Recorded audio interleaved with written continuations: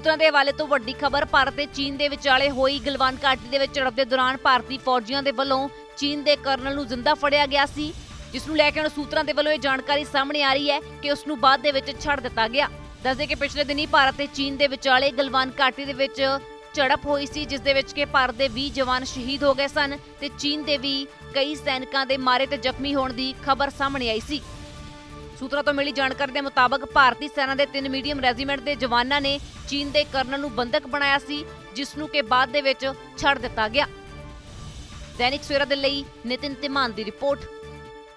All world open challenge 17 time gold medalist Mian Rafiq Mohammad पंडित मौलवी बेगम तांत्रिक इन चोरा ठगा तो सावधान स्पेशलिस्ट वशीकरण सट्टा नंबर लव मैरिज पति पत्नी च अनबन विदेश च पक्का होना कारोबार दा ना चलना सिर्फ़ 31 ਘੰਟਿਆਂ ਵਿੱਚ ਸਮਾਧਾਨ free free free Mian Rafiq Mohammad mobile 843747494647 84374 94648